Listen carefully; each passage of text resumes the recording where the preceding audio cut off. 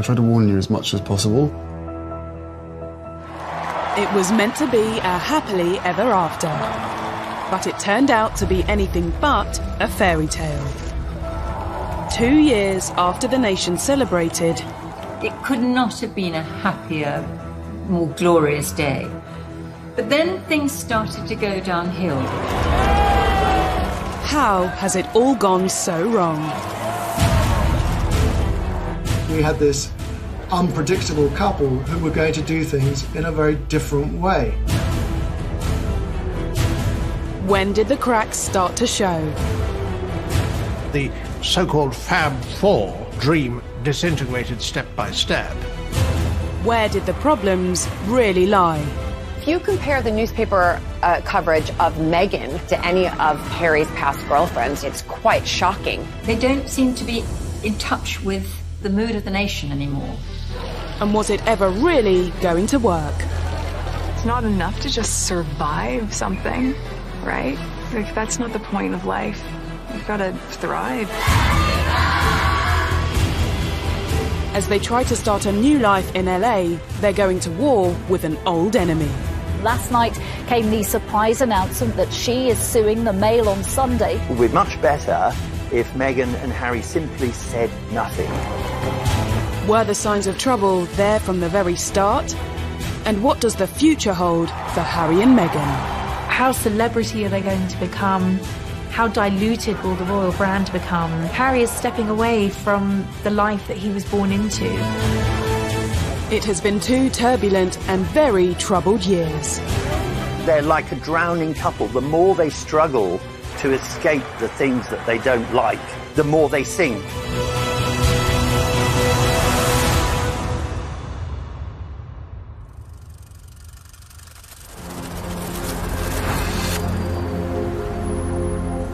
Harry and Meghan have changed the regal backdrop of Windsor for the luxurious Hollywood Hills. We won't be hearing about Harry, Meghan, and Archie and the royal family together as one for, I, I expect, for months to come until they come and visit over here, or maybe maybe William and Kate and George and Charlotte and Louis will head on over to LA. Wouldn't that be a great photo op?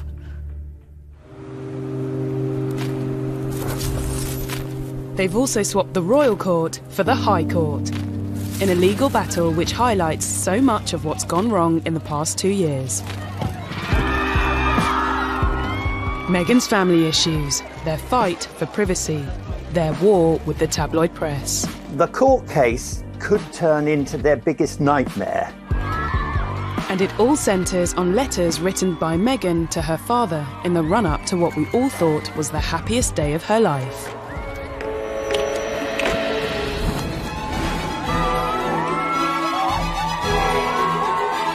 Only two years ago, Harry and Meghan's wedding had been a day when Britain basked in the sunshine and the warm glow of a royal couple, all set to transform the future of the monarchy. The mix of the tradition and the new and the mix of cultures totally embodied in one church service. And billions of people watched that service and were moved to tears both by the romance of it and by what it represented. We celebrated with them but were the seeds of their troubles already clear to those who looked? For the two years since the wedding, I think they've tried to recreate and, and, maintain the kind of positivity that was around at the time, but that's just unrealistic and naive.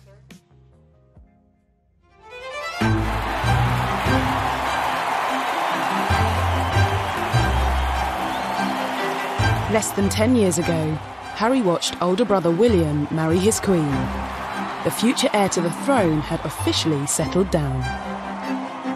But the younger prince didn't look likely to follow suit anytime soon. This was quite a difficult period in Harry's public image because whilst people loved the sort of cheeky, chappy image, once he was constantly being photographed falling out of Sloane nightclubs on the King's Road, people did start to slightly turn against him. Pressure on the prince's love life had also been building. After two long term relationships came and went. The first love, Chelsy Davy, who he fell head over heels in love with. She had to look into the goldfish bowl of royalty and to realise absolutely this wasn't the life for her. Harry was disappointed. His second relationship with Cressida Bonas, an actor, and she too didn't like the idea of media intrusion. When you marry into the royal family, you have to give up so much individually as a person, or at least that's what's expected of you. Girlfriend wise, you know, it's, it's my private life, so it's, it's a different story. But yes, I am very, very, very protective. Obviously, it, it is part of my life. It's something that is part of the baggage that comes with me. I wouldn't say that Harry was unlucky in love. He just hadn't found the right one until Meghan came along. And when American actress Meghan Markle did come along, she looked set to change everything. When Meghan first appeared with Harry, she seemed absolutely perfect. The fact that she was American, she was a career woman, she was mixed race, she brought a whole lot of new things into the royal family that the royal family needed. In this strong, striking, confident woman, there was actually someone who was very capable of handling the pressure and the scrutiny of being in the public eye. But the nation's favourite prince, with a divorced Hollywood A-lister, raised some eyebrows from the start. Much attention was paid to her mixed heritage. Harry's fallen in love, and there were people happy about that. But then on the other side, there were people, papers, the mainstream papers and the tabloids, talking about her in a very negative sense. People were already painting her in ways that it was clear they knew nothing about her, but it suited their negative narrative to call her what she's not without any evidence. It is, and it was, racist. If you compare the newspaper uh, coverage of Meghan compared to any of really Harry's past girlfriends, you know, it, it's quite shocking. The press has always denied racism. In November 2016, Prince Harry confirmed his relationship with Meghan in a statement telling the tabloids to back off. Looking back, was this an early sign that it wouldn't be business as usual? Harry issued this quite extraordinary statement attacking um, some sections of the media. He wasn't going to tolerate the kind of invasive techniques that once surrounded his late mother. He couldn't protect his mother because he was only a small boy, but boy was he going to protect Meghan. In the explosive statement released via his press secretary, Harry also asked the media to pause and reflect before any further damage is done. This statement packed a punch. It was Harry speaking in a way that he had never done before. I mean, he was talking about um, levels of harassment, unacceptable levels of harassment, how Meghan had been the victim of sexist, racist comments and commentary and negative articles. He was clearly a very, very angry man. And actually, to a degree, he had a right to be. Prince Harry has always had a level of mistrust towards the media. But this was one fight that was always going to have an unhappy ending. The palace thought it was unnecessarily antagonistic, uh, and as though Harry was somehow spoiling for a fight. He went about it in an aggressively confrontational kind of way. You cannot control the media. The Queen has managed to reach a position where she's very rarely criticised because when she, in the past, has occasionally been criticised, she says nothing. It would be much better if Meghan and Harry simply said nothing. A year after Harry's unprecedented statement, news broke that he and Meghan were engaged. The nation's favourite younger brother decided to give us all some good news today by announcing he was to marry the likeable Meghan Markle.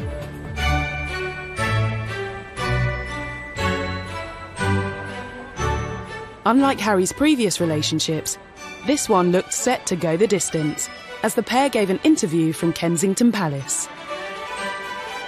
I was, of course, anticipating it, me being an American, uh, who, who, obviously I've married into aristocracy, and then to see somebody else, just to see how she would be on camera. And it was wonderful. What were we doing? Just roasting chicken and Roasting having. chicken. Trying to roast chicken. Trying to roast a chicken. And it was just. Uh, just just an amazing surprise. It was so sweet and and natural and very romantic. You could see she was just smiling the whole time and, and almost laughing several times throughout the interview. But even at what should have been one of the happiest moments of his life, Harry still showed some signs of anxiety about how his fiancée would be treated. I did not have any understanding of just what it would be like. I don't think either of us did that. We both said that, even though we knew No, that I- it would be. You know, I tried to, I tried, I tried to warn, I tried to warn you as much as possible. Both of us were in, totally surprised by the, the reaction after the first five, six months of when we had to ourselves of what actually happened from then. So I think you can, you can have as many conversations as you want and pre- try and prepare as much as possible. But we were, we were totally un- unprepared for, for what happened after that. The scrutiny. Well, all sorts. You could see that the old thorny issue of Harry's relationship with the press was raising its head again. The news that the world's most popular prince was set to marry a Hollywood actress sent the world into a frenzy. Their wedding was an unforgettable day, but could this story ever really have a fairy tale ending? things were said and done in the run up to the wedding that both sides regret but had caused irreparable damage.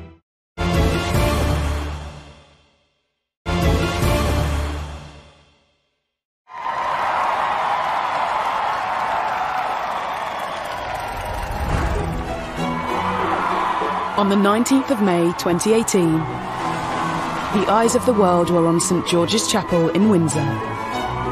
The wedding day was wonderful. Meghan looked beautiful in her dress. Harry couldn't have looked happier. The ceremony itself was so vibrant, it was so new, it was so different, it was so unique to the two of them. And I think it was the start of something very, very happy and, very, very special. Nobody can deny that the wedding day itself was sparkling. It was magic. It was like Disneyland. The couple were given the titles Duke and Duchess of Sussex.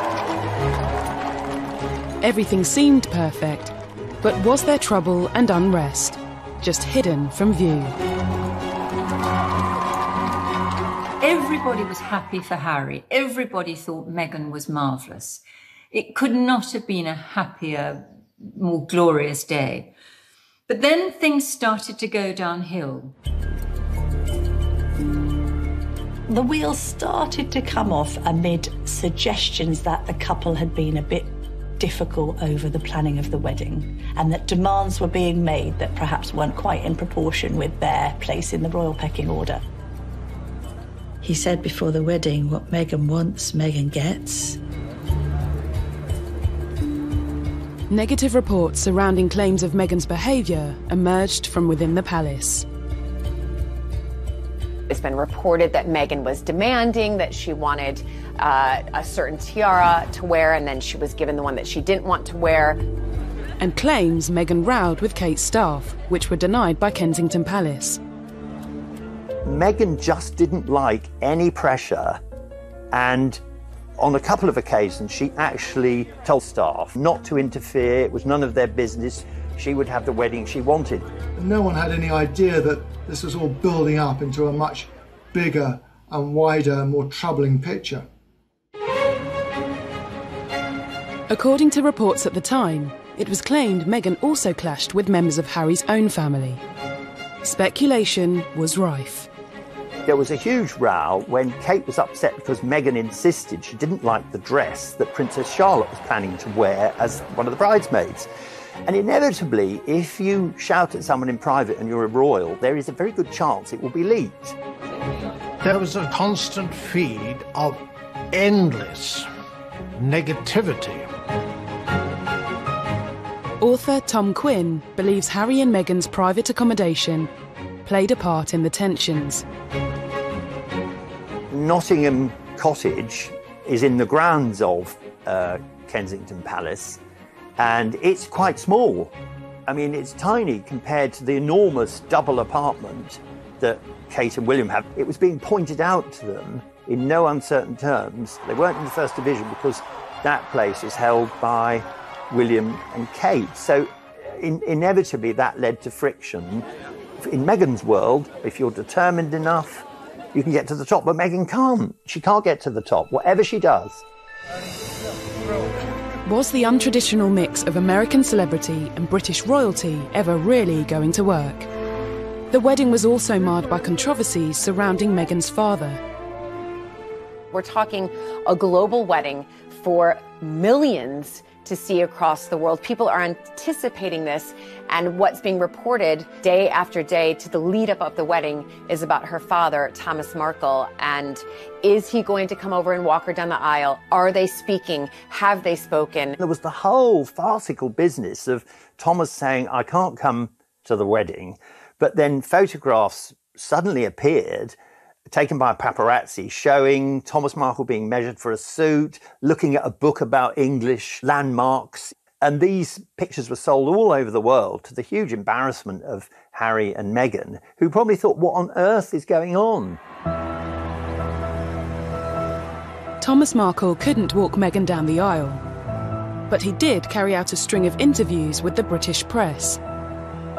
It meant he continued to dominate headlines even after the wedding. I'm a footnote in one of the greatest moments in history rather than the dad walking her down the aisle. Millions watched this interview on ITV's Good Morning Britain as he explained why he staged paparazzi photos. They take all kinds of pictures of me that making me look negative. So I thought this would be a nice way of improving my look. Well, obviously that all went to hell. Uh, and uh, I feel bad about it. I apologize for it. There seems to have been this this toing and froing of mutual accusations where Meghan felt her father wasn't being sufficiently positive about the wedding, and Thomas Markle felt that there was no sympathy for him. Thomas Markle also discussed conversations he claimed to have had with Harry in private. I was complaining I didn't like Donald Trump. He said, give Donald Trump a, a, a chance. What were Prince Harry's views on Brexit? It was just a loose conversation about something that we have to we have to try. Uh, I think he was open to the experiment. But text messages presented as evidence in Meghan's upcoming court hearing have revealed what conversations really took place.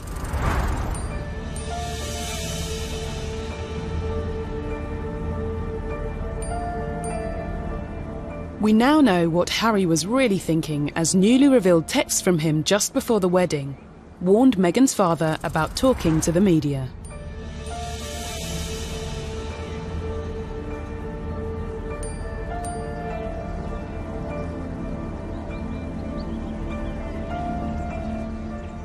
These text messages are actually evidence showing that they were reaching out to Thomas Markle, that they didn't uh, close him off at, by any stretch of the imagination, that they were trying to contact him and, and speak to him.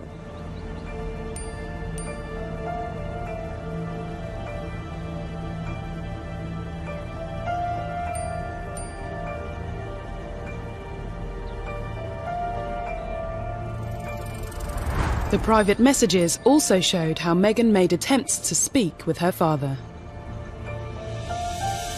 Not sure the royal family uh, as a whole will be affected in any way by the, the, the, the, publication of these texts, but they won't like the fact that Meghan and Harry have shown once again that they're not very good at dealing with the media.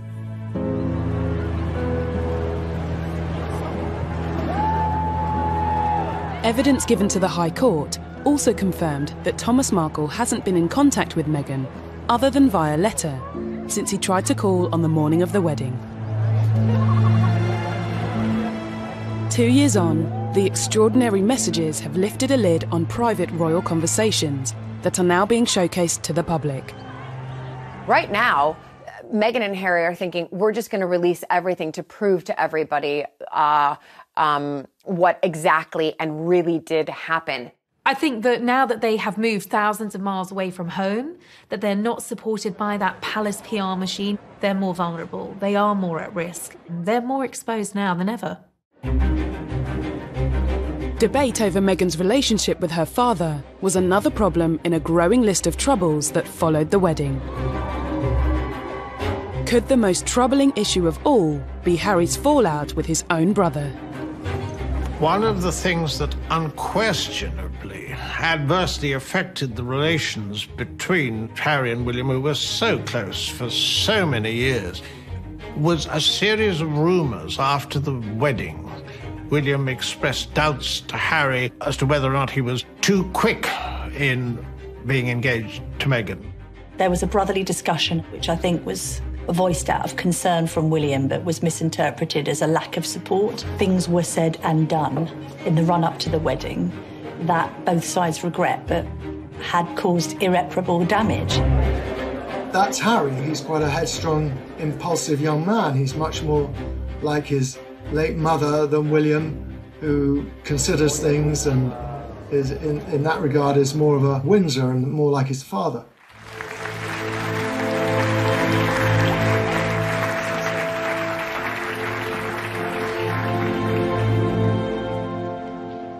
The alleged rift between Harry and William cast doubt over the future of the Fab Four the title given to the brothers and their partners after they joined forces for the Royal Foundation charity.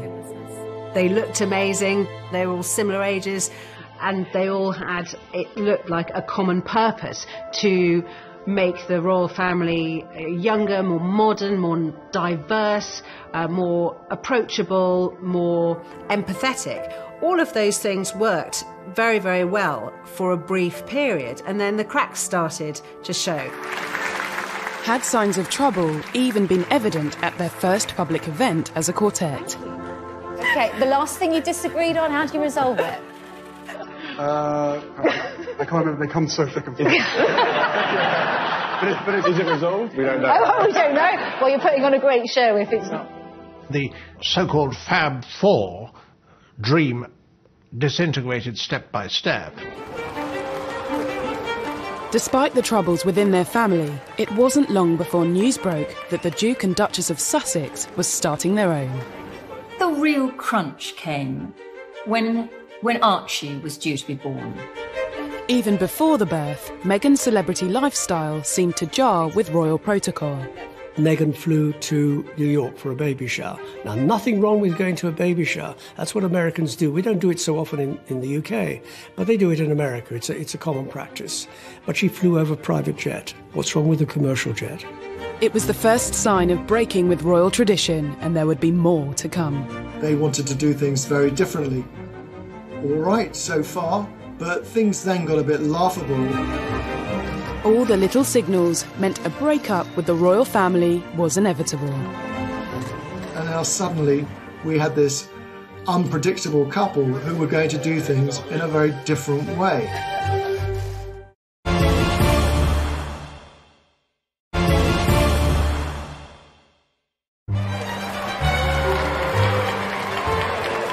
For decades, new additions to the royal family have been welcomed to the world on the famous steps of the Lindo Wing of St Mary's Hospital in central London. But not when it came to Harry and Meghan's first child, Archie.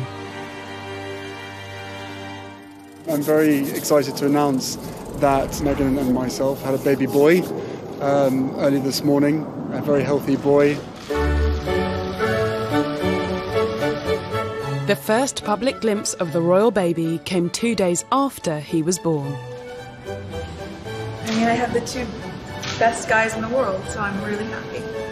He has the sweetest temperament. He's really calm and. Um... Uh, he gets that from. they were not going to follow the usual pattern of a royal birth. Uh, they wouldn't say A, where the baby was going to be born, or when it was born.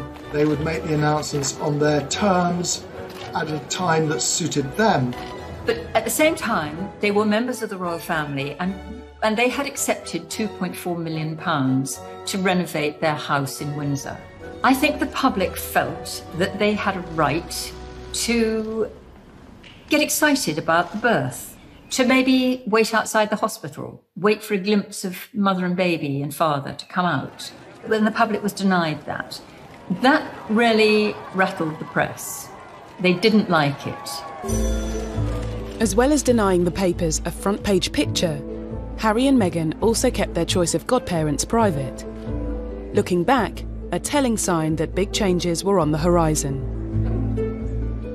I think that this was their way of saying, oh my gosh, the more we give to the press, the more they take and write not very kind articles about people or about our lives. So they just thought we're going to start we're going to start stepping back so that they have nothing to to write anything damaging about. But it was very much Harry and Meghan not just wanting to do their own thing, but wanting to say, we're signalling a change. Things are not going to be the same anymore. We're an independent unit, and we're just not going to be told what to do by the rest of the royal family. The couple had already begun forging their own path, moving from Kensington Palace to Windsor in time for Archie's birth. Then, a month later, they split from William and Kate's Royal Foundation, marking the end of the Fab Four. Their appearance 18 months earlier at a Royal Foundation forum proved to be the first and last time the quartet would appear at such an event together. Do you ever have disagreements about things? oh, yes. Can you really have four very big personalities with different backgrounds with Meghan and Kate and different futures with William and Harry? Can they really be a cohesive group that can work very happily together? They probably should have separated at the very beginning and not tried to be a quartet. As a new family, Harry, Meghan, and Archie toured southern Africa. I wanted to ensure that our first visit as a family, with my wife by my side, focused on the significant challenges facing millions of South Africans. Many of their troubles seemed to disappear. They got very positive press in southern Africa.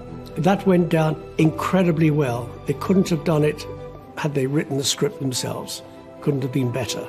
They were the golden couple sprinkling fairy dust all over southern Africa. And then at the end of that tour, they completely shot themselves in the foot. This led to the ITV documentary where they talked about so being so deeply unhappy as senior members of the royal family, which hit the world like something of a thunderbolt. In a revealing documentary, Harry and Meghan expressed their true feelings and the problems bubbling under the surface.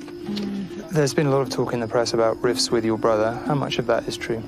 Look, we're, we're brothers. We're, we'll always be brothers. Um, we're certainly on different paths at the moment, but I will always be there for him, and as I know he'll always be there for me. I don't know what the impact on your physical and mental health of all the pressure that you clearly feel under.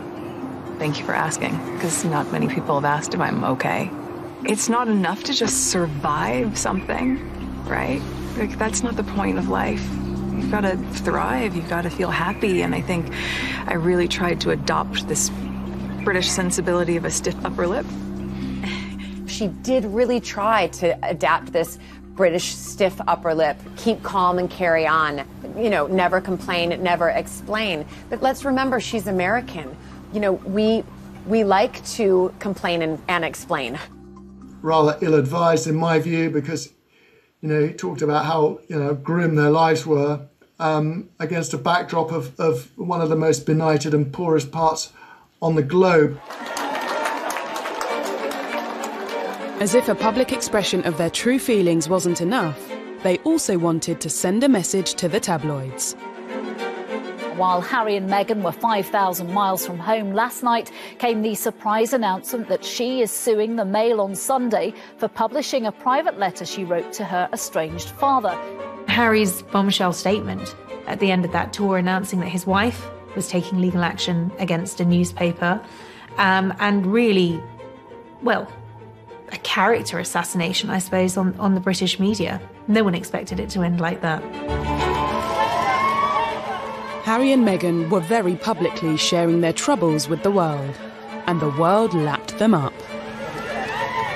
I, I think that part of the fascination and the outrage um, thrown at Harry and Meghan, it's probably deeply rooted in jealousy in some part, right? People don't want to accept that. Be it ordinary people like you and I, or you know, high profile people who just want to get in there. People think that Harry and Meghan is the next, I don't know, chapter or episode of Netflix's The Crown. No, these are real people.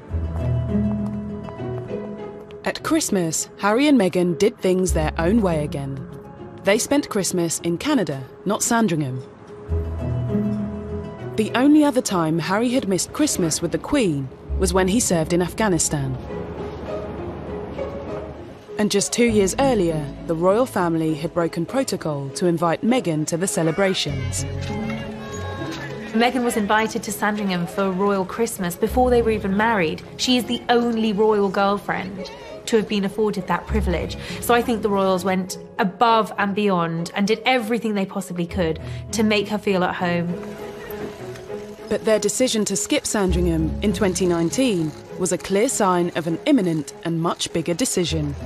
Once Harry and Meghan had gone to Canada for Christmas, once it became clear that they'd taken their dogs with them, it became very, very obvious that they weren't coming back anytime soon just before Christmas, he and Meghan decided to have a pause and, and think about what they wanted to do. They went off to Canada, and when they came back, it was announced early in 2020 that they were going to remove themselves from royal life.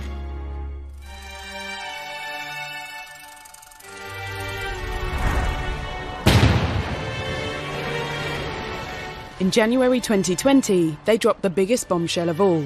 They said they intended to step back as senior royals. It was absolutely shattering. I, they, he gave other senior royals, including the Queen, almost no notice at all. And I thought that he and Meghan had gone rogue, uh, that this was a deplorable way to handle it. I think that the Queen should have been informed. There had been negotiations that had been going on for some time, but nothing had been decided. Prince Harry wanted to say to his father, I need to change things and I need to discuss it with you. And he was told to commit his ideas to paper. And he responded, Well, no, if I do that, it'll just end up in the newspapers. Essentially, on one hand, you had a royal family feeling that they were being bounced into making a decision on the couple's future, and the couple being very frustrated that the palace machinery wasn't quick enough to respond to their desire to change things. For many, what became known as Megxit now seems like it had been inevitable from the start. Harry and Meghan saw perceived slights at every twist and turn, and um, uh, things which seemed quite minor became quite major, and it really came as, as no surprise as, as the weeks and months went by that really what they were angling for was not just a different kind of royal life, but a, but a different life, and in fact, a life absent uh, from the royals, if you like, uh, to break free from uh, royal duty and everything that he'd uh, he'd been used to, which of course is what happened. Was the break down to tensions with the press, issues with traditional royal life, or something else? I think he defers to her a great deal, and she's a very confident, articulate, woman who's done very well for herself, but I think she has no idea of the sense of duty. Now, Harry is in his 30s, right? And um, I do not understand why anybody would think that he would not have matured, changed, grown up in different ways. And the fact that you're seeing a side of Harry that you haven't seen before is because this context in which he's currently dealing with did not exist before. Why is that surprising? Should we have seen it coming? Has Harry never really been happy with his royal role and all the attention it brings? Did he find his greatest peace when he was in the army? The army allowed Harry to feel normal. That's what he wanted. Would you say then you're more comfortable being Captain Wales than Prince Harry, or is it just a case? No, definitely. I think I've, I've always been that. My father's always trying to remind trying to remind me about who I am and stuff like that.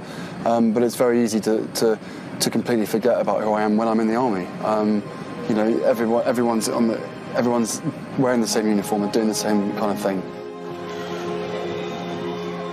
Harry and Meghan's announcement also detailed how they wanted to be financially independent and retain some royal responsibilities.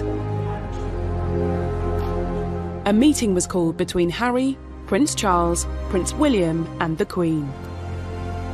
Harry and Meghan were expecting an awful lot with what they were demanding at the Sandringham summit, as it was called, when they were laying out how they thought it would work and how they would continue to be half in the royal family and half out of the royal family, and that that was cloud cuckoo land and couldn't be done. You you are either in or you're out, and it was definitely the Queen who said no very very firmly to her favourite grandson, and that must have been very hard. Harry and Meghan's final royal engagement was in early March, and for some, it seemed their troubles were still on display.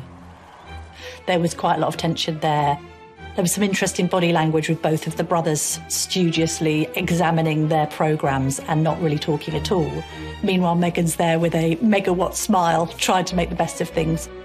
I would say that what interaction we saw, and there wasn't much, between the Cambridges and the Sussexes seemed to me extremely frosty. Harry and Meghan have long been suspicious of the press and the motives of the media. But taking on the tabloids is a battle that can come with consequences.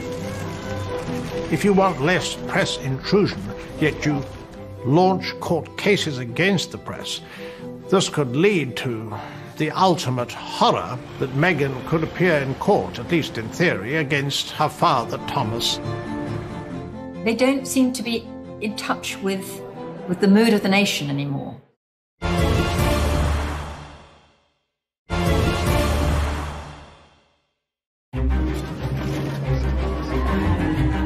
In the two troubled years since their wedding, Prince Harry and Meghan Markle have made no secret of their feelings towards the tabloids. Looking back, Harry has long been vocal about what he sees as press intrusion. They still upset me and I still read them. Why, I do not know. And so, what, what do you think the public perception of, of Harry is? Um, I don't know, it fluctuates. It depends on what the media want to write, I suppose. That feeling only grew when he and Meghan became a couple. We were just hit so hard at the beginning with a lot of mistruths that I made the choice to not read anything, positive or negative. It just didn't make sense. Being part of this family and this role and this job, every single time I see a camera, every single time I hear a click, every single time I see a flash, it takes me straight back.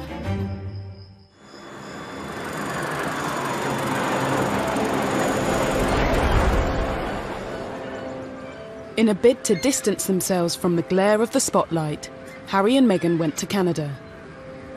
I think the reason for this whole upheaval, I suspect, was that Meghan was unhappy here and Harry wanted to protect her and to make her happy. And I think she was unhappy probably because she had made some very big life changes in a very short space of time. She'd left her job, she'd left her country and all her support network in America. She had come to a new country, she'd married into a big family, and she'd taken on a new job, and she had had a baby. All of these things are huge events, and they'd happened in under two years. People had been putting the dots together and working out that actually they hadn't just gone for a long Christmas break. They really had escaped as far as they saw it, and had no intention of coming back. There was shock in the wider British public. I think there was dismay and great sadness that it seemed so drastic. Any plans for an easy transition across the Atlantic soon hit controversy. Canada said it would not foot their security bill following their change in royal status. Security has always been so important for Harry and he stressed this throughout the negotiations. But this will be extremely costly. It's like a sort of daydream. It's like a dream of an ideal world where they can have a private life and they'll be able to do whatever they want. There wasn't an easy way for them to be half in and half out royals. Just days before their royal status was officially due to end, Harry and Meghan's plans changed. As US borders threatened to close amidst the coronavirus breakout, Harry, Meghan, and Archie made a dash for California. Harry, I think, decided, probably quite impulsively, which is in his nature, to get Meghan back to her comfort zone. Their original plans have sort of fallen in tatters. They've got to decide what it is they want to do, how they want to do it, when they want to do it, and where they want to do it. They've got advisors around them, and I hope they're getting the right advice.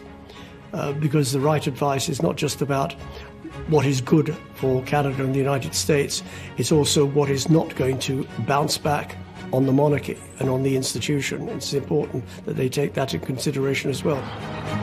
As Harry and Meghan attempted to settle peacefully into LA life, their battle with the British press continued.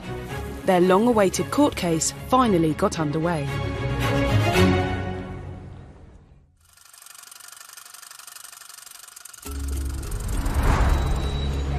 Meghan is suing Associated Newspapers for misuse of private information, breach of data protection, and copyright infringement. After a letter she sent her father was published by the Mail on Sunday. This is a private letter to her father expressing, you know, her feelings and having that released absolutely will cause uh, distress on anybody. But to do so, she and Harry have had to reveal more personal information in court.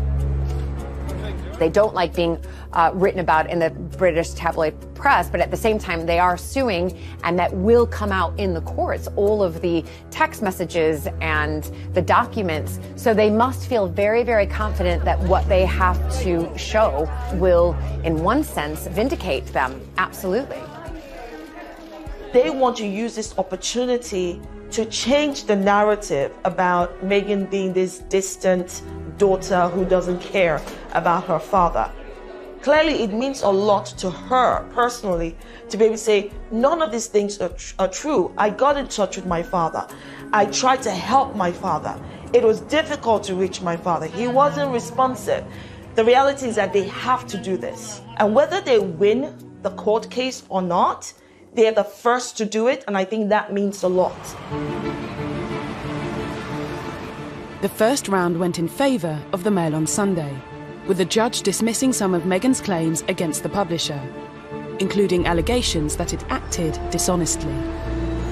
The judge threw out, in the preliminary hearing, threw out some of the allegations that uh, Meghan and Harry had made against the Mail. He described them as irrelevant, just not part of anything the law could look at or decide on. But that was just the opening battle. When the case goes to trial, it could all get really uncomfortable. If you want less press intrusion, yet you launch court cases against the press, this could lead to the ultimate horror, and that would be that Meghan could appear in court, at least in theory, against her father Thomas, who has contributed to a great deal of the adverse publicity that they've received. That would be a global news story and be truly bizarre. On top of Meghan's legal action, Harry has also filed a lawsuit against The Sun and the Daily Mirror for alleged phone hacking. I think Harry doesn't really like the press, and I think he often puts on a smile and a brave face, but deep down there's a, a loathing there. He's obviously trying to be specific with the Mail on Sunday's publication of Meghan's letter, and indeed he's being specific on hacking. If legal proceedings weren't enough, the pair have written an open letter to the Daily Mail, The Sun, the Daily Mirror, and the Daily Express, signalling their intention to sever all ties with them. In the letter, they told the newspapers to expect no corroboration and zero engagement. Immediately, it was picked up by the tabloids and made into a story itself. And it, it made Meghan and Harry also, it made them seem petulant. They'll dig around even more furiously now for the sort of information that Meghan and Harry, Harry don't want to come out. So it will have the opposite effect from the one intended. The choices he's going to have to make moving forward. But that absence of palace protection, which he did find frustrating, there is a sense that even before Meghan was on the scene, he was growing sick and tired of being told what he couldn't do by the palace. I'm not quite sure what it is that they want. You're taking on a big beast if you go to war with the tabloids. They are very powerful, and they have the ability to make or break. The months to come are going to be crucial for Harry and Meghan as they start a life away from the royal family, an attempt to leave their troubles in the past. I think they are tremendously happy together, but there's no question that this is at a very high price. Harry and Meghan's life as a married couple at the forefront of royal duties in Britain lasted just two years. The couple's new life is here, Los Angeles. But it hasn't taken long for reports to emerge claiming Harry feels his world has been turned upside down and that he misses the military. When he did leave, he clearly wasn't ready or willing or able to completely sever those ties, which is why he's continued not just with some uh, honorary titles and um, you know, sort of bells and whistles jobs, but he wanted to really continue to support particularly injured servicemen, both with uh, the Walking Charity and with the Invictus Games. And that has obviously brought him a lot of happiness. I think that's the thing he's going to miss the most now that he's not in the UK he'd be like a lost soul there. It'd be far worse for Harry in America than it was for Meghan in England because he's not as tough as she is. It seems for Meghan, there's no place like home. If you look at the photos when we were first kind of introduced to Meghan, she was in yoga leggings, she was in her Ugg boots, she was casual, and then all of a sudden she moves over here and she's in, you know, stockings, or as I would say, pantyhose, wearing a dress, having to wear a hat, full hair and makeup heels all of the time. And all of a sudden they've gone back to North America and she's back in her yoga pants and, you know, her comfy boots and casual and going back to how probably she has been living her whole life apart from this little blip when she was living here for, you know, what, less than two years. How are you making a no different from some of us that pack up our bags and go live in Australia or New Zealand or move to South Africa or decide to go live in Iceland? When you get there, you figure out whether or not you're comfortable, whether or not you're getting what you want from the place. And maybe they plan to be there for a short while, for a long while. I don't know. And can I be honest? It's not my business. While the couple have been stateside, there have clearly been some things they've missed back in the UK. Reports claim Harry is back in touch with William, and the whole family video called the Queen.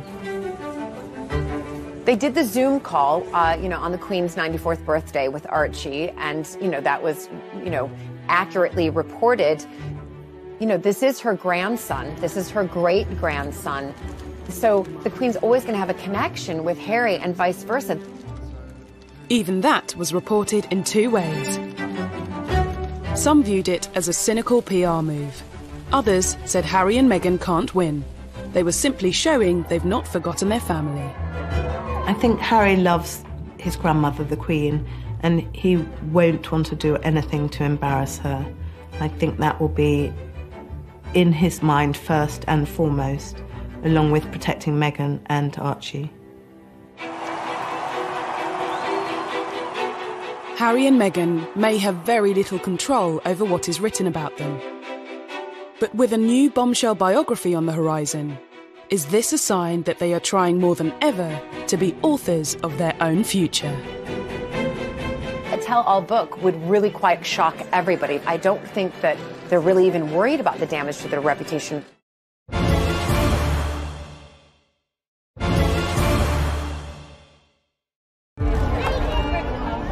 This summer, Harry and Meghan will continue to dominate headlines. A new unauthorised biography will soon be hitting shelves, with claims it will be very much told from the couple's perspective. It promises unique access to friends of Harry and Meghan and will dispel many rumours and misconceptions that plague the couple. Will it be a case of history repeating itself? Look at what happened to his mother when she did the biography with Andrew Morton. You know, it caused massive um, issues and and problems within the royal family. I don't think he wants to follow in those footsteps of his mother right now in what she did in opening up to the world a tell-all book. Again, it would really go against everything that they're trying to uh, to put out there. Is that we want to be private. It's probably again their own pathway of saying, you know what, we want to tell our story, and this is the way we're going to tell our story. Reports claim Meghan wants the book released sooner rather than later, and that she wants to shatter the image of being a demanding diva. You can be certain that the book won't give both sides of the story. I think it's more likely to be a self justifying book, but it does give them something to do in a world where, especially Harry, has nothing to do. It seems their story is far from over, along with all its troubles. They may have left palaces and protocols behind, but Los Angeles comes with its own way of doing things. In the world of celebrity, anything goes. I mean, you can go to a burger joint and be photographed outside. Haven't got the same kind of privacy restrictions, but also the same agreement between newspapers and the palace. They're not protected by the palace anymore. How celebrity are they going to become? How diluted will the royal brand become? You know, Harry is stepping away from the life that he was born into. That that comes with risks for him. Harry and Meghan say they're determined to carry on charitable work.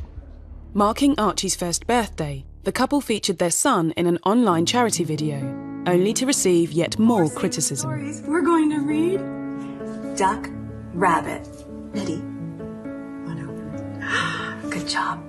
I think it's very odd and typical of the slightly contradictory nature of their lives and their views because making a video of Archie on his first birthday is very sweet, and we know it's linked to um, a children's charity that Meghan supports, um, which is all good. But at the same time, it does show that Meghan, probably more than Harry, is not going to be able to say goodbye to the media and to having a media presence. She can't do it they could release photos of Archie whenever they want to. I don't think they're really having their cake and eating it too. I think that they feel like, well, we can now do what we want to do. For Meghan, life has gone full circle and she's back in Hollywood. But where does that leave Harry? I think they'll take a lot of advice from the Obamas. You know, they've set up their production companies that they'll be talking to Oprah Winfrey, they'll be talking to big figures like that to try to find a way to carve a role for themselves as philanthropists, entrepreneurs, you know, huge figures on a on a global platform. How they earn their money without people think they're trading in on their royal status is the tricky bit. However they choose to earn a living will be a new venture for former senior royals. If it doesn't work out, is there a path back to the palace? I think, in a way, it's seeing how they behave. If they use the royal family to make pots of money, um, that then it won't be very good. If there's a tell-all interview on the television by Meghan and or Harry, you know that's not going to go down well. So they're really under the watchful eye of the royal family for the first year, which they probably don't like at all. The door has been quite clearly left open by the Queen for them to return to the royal family if that was what they wanted to do. She has allowed them to keep Frogmore Cottage, although they've been asked to pay back the £2.4 million that the taxpayers paid for the refurbishment, and rightly so. They haven't lost their titles, they haven't been stripped of their titles as such, they're just not able to use the HRH status. But I don't think they will come back. I think this is the life that Harry actually has always wanted. Meghan has been the catalyst. She has enabled him to do this. She's helped to give him the confidence to take a step outside of the role that he was born into and to embark on a new chapter.